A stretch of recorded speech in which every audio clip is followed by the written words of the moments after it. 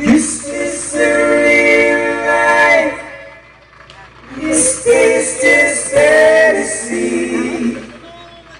In the last no mistake.